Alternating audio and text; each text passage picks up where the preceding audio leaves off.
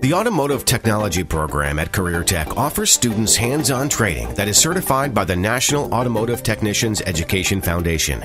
The comprehensive curriculum and our new state of the art facility is designed to emulate a typical automotive shop in customer contact and repair techniques and procedures. Students can job shadow in new car dealerships with the goal of securing internship positions during the summer before their senior year.